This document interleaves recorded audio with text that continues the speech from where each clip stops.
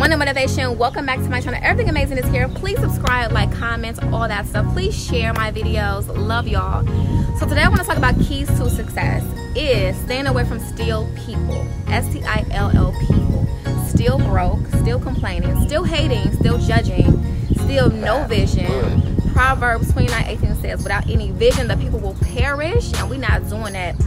Still drama filled lying still developing still angry, still bitter, still slacking, still taking, still toxic, still negative, still not driven, still needy, still manipulative, still playing the victim and game, still hating Mondays because you know I love my Mondays, y'all.